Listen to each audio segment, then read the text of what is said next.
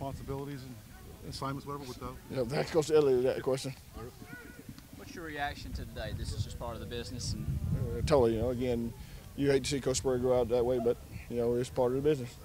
when did you guys realize that this was this was in fact happening? Now, Last night, yeah. yeah, you know, he he uh, called the uh, team up and and uh, I think got through running and, and he told them. Did he tell you? Did he tell his staff before he told the team, or he told everybody? No, everybody? well, he told the team as a group. He told us as a group. Was complete shock to you?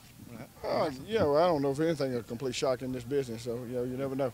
And uh, you know, it was surprising that you know it happened the way it did, but you know, he has the right to go out the way he wants to go out. Are you and Coach Hoke remaining co-defensive coordinators? You got that, Coach Elliott. That Has he told you anything? No. Nothing? Okay. No. Did you, throw you your, did you throw your name in the hat for interim head coach? Well, I don't know if you throw your name in there. Coach uh, said last night that uh, Coach Tanner would talk to all the uh, guys that had titles, so we all got talked to.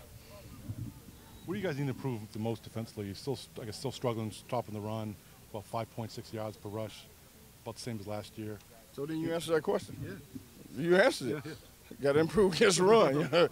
You, can't uh, play good defense and, and let people run and throw. So we got to be definitely be better against the run.